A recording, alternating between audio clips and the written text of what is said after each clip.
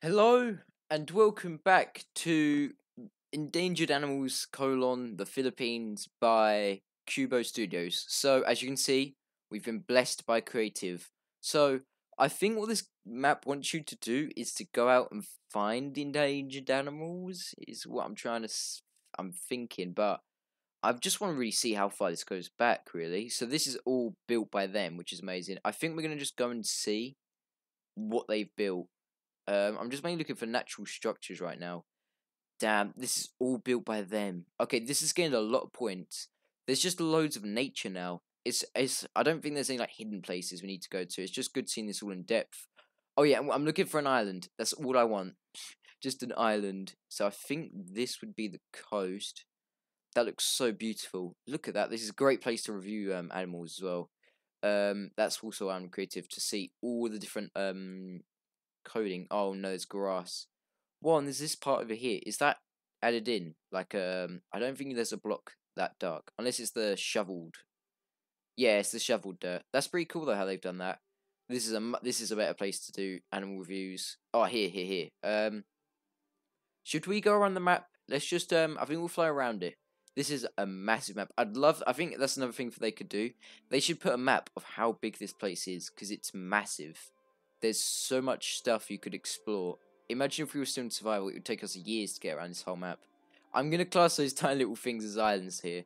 Maybe we're just on a Filipinian island. That's what I'd like to believe. Hopefully, um, yeah. So just more and more islands. Really, it does look really good though, and it's massive. That's what's awesome about this. It just looks massive. Um, yeah, just nothing. Just for miles. Just this stuff. Um, Yep, and just more. It, it still looks great though. I love it. Um, yeah, all like, it looks very naturistic. I'm running out of things to say. If you've realised, you've got. Yeah, it feels. Um, I'm I I'm definitely not running out of things to say. That thing I just said was a lie. It feels like um very mountainous. All the trees. They've definitely done the trees right. I think maybe we should do tree reviews. Review every tree and all the maps. That'd be a great way. This one is definitely leading on the tree review. This is a new thing, yeah. These trees look amazing. This is definitely a great place to stop and review all of the animals here. Um, yep. Are we ready to stop? I think it's nothing but um this kind of biome for a lot of time. We've got this massive river as well. The river looks beautiful. Okay. Let's review some animals then. So in the list we have got. I think they're all going to be shown here. Um. Okay. Here we go. Ravenger, Path Eagle, Terror, Warty Pig, Tarnisia, Flying Lemur, Stink Badger, Spotted Deer, a Shrew. I think this is coding. Let's just check. Hope it doesn't break the game. Yeah, that one's a bit weird. The path dot name. Okay, the first one, the Philippine Eagle. Pretty cool looking. Um, there you go. Um, have a little read of that. I'm not going to read all of it, but you can have a read. We're going to try and go through quite a lot. So, throw your card out there. Next is the Tamaroro. Oh, it's those guys over there. Cute. Um, oh, we've already seen these guys. Um, yep, we got an extra person. Next is the, oh, not the warty pig. Oh, they look so horrible. Imagine like touching that. It's all like warty. Ugh. No thanks. Okay. Next is the Tarsier. I guess that's like a monkey. Um, world's smallest monkey. They look pretty big in my opinion. Flying lemur. I like all the sounds as well. Oh, that is cute. Look how small that is. That is so cute. Uh, next is the stink badger. These guys just look kind of sad. Um, the spotted deer. Just a deer, really. They're so good just to have around. Can you imagine if this was in actual vanilla Minecraft? And then the shrew. I love how they make the silverfish sound. That is the best. We're feeling very Filipinian already. Okay, next one then.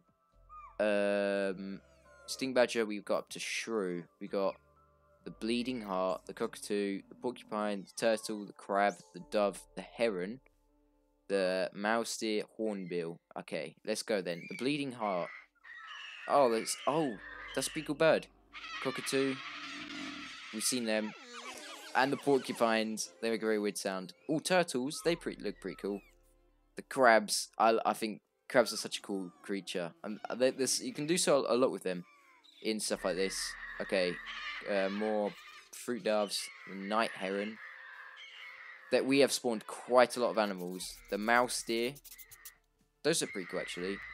and these massive hornbills. It looks very lively. This was so like nice to see. I love this.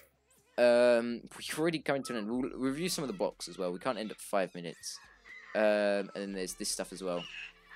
These tiny little birds. Same kind of model as the first um, Bleeding Heart bird. And the bear cat. Cute. That is all the animals, I think. So, there's also blocks like... Hmm, can you spot any Filipino looking blocks here? I'm just trying to have a sniff. Have we missed anything? Circling straight. No, we haven't missed anything, which is good. Um, so, is there any other stuff that we've missed, like they've coded in or something? I'm just trying to see. Um, there's the mango. No, those are the three that we were given. So, I think we should start reviewing then. So, these models are probably the best animal models I've seen for quite a while. We haven't really done, like, model just reviews before.